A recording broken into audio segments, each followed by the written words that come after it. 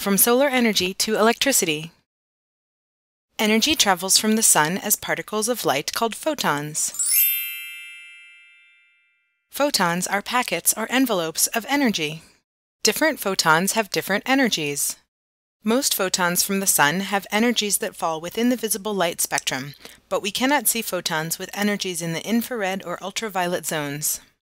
When a photon hits a solar panel, what happens depends on the energy of the photon.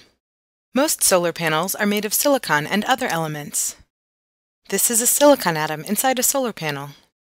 Atoms have a nucleus made of protons and neutrons surrounded by electrons. When an electron is hit by a photon with sufficient energy, it absorbs the energy from the photon and breaks free from the atom. It is then a free electron. The flow of free electrons is electricity. Different types of materials require different amounts of energy to free electrons. An insulator requires a really large amount of energy, a semiconductor requires a medium amount of energy, and a conductor requires minimal or no energy to free electrons. Imagine that you are an electron. To become free, there is a wall you need to get over. In a conductor, the wall is very short and you would easily jump over. In a semiconductor, the wall is higher and you cannot just jump over it. You would need a pogo stick to bounce yourself over.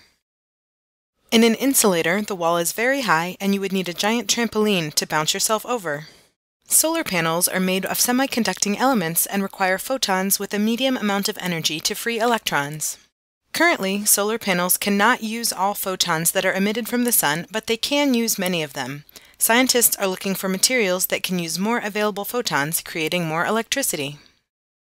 Check out our other videos about electricity, heat, and fuel.